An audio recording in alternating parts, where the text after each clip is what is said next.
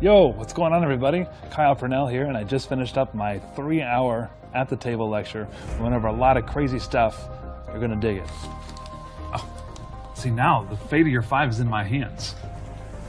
Uh, right across the five for. Well, actually, let's do it super, super small here. So if we're gonna do a felony, at least a small felony. Small felony. Sign it. Yeah, but you can sign a really big right, right across that portion there. Okay. Don't take your eyes off it. Watch the five. nice.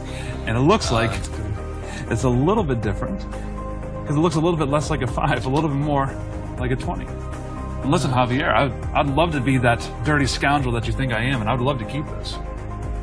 But I can't. Why not? Well, ethically, I can't because it's not my bill. Nah. It's nice. yours. That's great. That's And great. uh, obviously it's yours, so I want you to keep that as a little gift from me to you. Next, we went over my linking rubber band and ring routine, completely impromptu, completely borrowed. Uh, and you actually see the exact moment that the ring passes right through uh, the rubber band. And what you do is you tap once, you tap twice.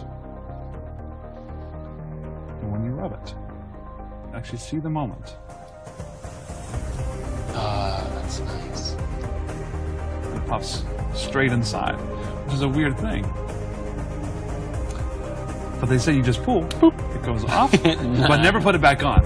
Ooh. Because when you put it back on, Yeah. it's never going to come off. Like it- it's on there for good up here. It doesn't matter how much you pull. You can pull up, you can pull down. It's not going to come off. Uh, so uh, I hope this wasn't an important ring. That's my wedding ring. So now I have to. Well, yeah. listen, I'm never going to strong arm you to do anything. I'm not going to tell you what to do with your life, but there is there is an out. They say if you accidentally put it on a second time, you just have to watch this area here and you pull. Watch this point. Okay. One, two.